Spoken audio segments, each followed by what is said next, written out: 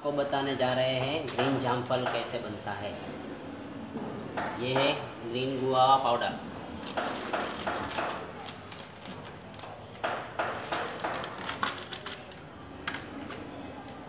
पहले कितनी कर ले पहले कितनी शुगर लेने की? शुगर लेनी है आपको सात किलो। शुगर फिर उसमें डालना है ग्रीन जामफल का लिक्विड लिक्विड ओके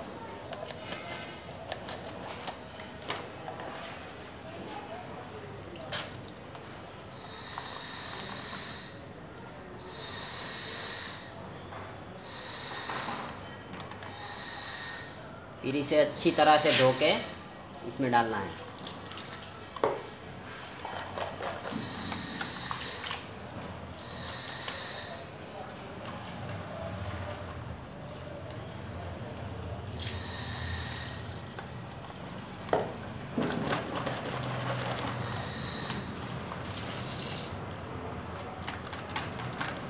फिर हमें इसमें डालना है सात लीटर पानी।